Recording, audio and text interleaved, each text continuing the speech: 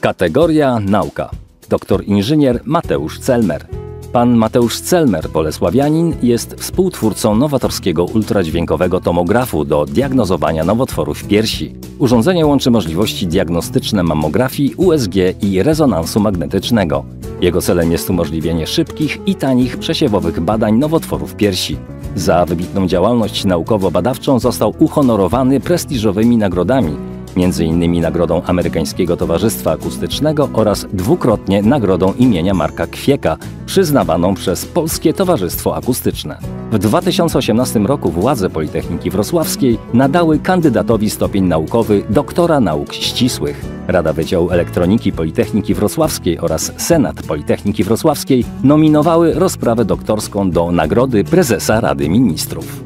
Mikołaj Omiatacz Mikołaj Omiatacz to uczeń klasy trzeciej Szkoły Muzycznej drugiego stopnia w Bolesławcu. Obecnie kształci się siódmy rok w klasie saksofonu pana magistra Mateusza Boducha. W 2018 roku wielokrotnie reprezentował miasto Bolesławiec podczas konkursów muzycznych, zdobywając liczne nagrody i wyróżnienia. Wśród najważniejszych to trzecie miejsce w konkursie o zasięgu międzynarodowym Międzynarodowe Forum Saksofonowe oraz drugie miejsce w konkursie o zasięgu ogólnopolskim Lubuskie Forum Klarnetowo-Saksofonowe. W 2015 roku Mikołaj Omiatacz uzyskał również pierwszą nagrodę w ogólnopolskim konkursie Jupiter w Krakowie.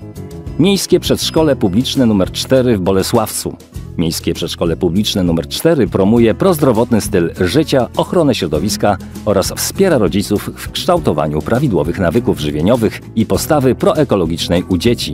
Wyrazem tego jest m.in. współpraca z czeskim przedszkolem z Liberca w ramach projektu Transgraniczne Przedszkolaki promują ruch i zdrowe smaki. Wychowankowie przedszkola są zdrowi, wysportowani oraz wrażliwi na cierpienie innych, czego wyrazem jest wspieranie takich inicjatyw jak bieg sponsorowany czy akcja bicia długości łańcucha choinkowego z papieru dla dzieci z dystrofią mięśniową podopiecznych Kliniki Rehabilitacji Dziecięcej Uniwersytetu Medycznego w Białymstoku.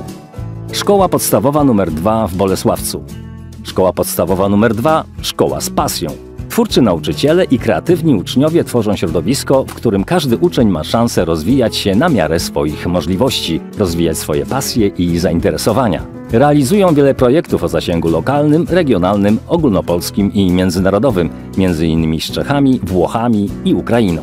W 2018 roku uczniowie wraz z przyjaciółmi z Valle Corsa i Akuto przygotowali spektakl w ramach obchodów 10. rocznicy ustanowienia Marii de Matias patronką Bolesławca. W sierpniu zostali zaproszeni na uroczystości miejskie w Valle Corsa Palio delle Quattro Porte.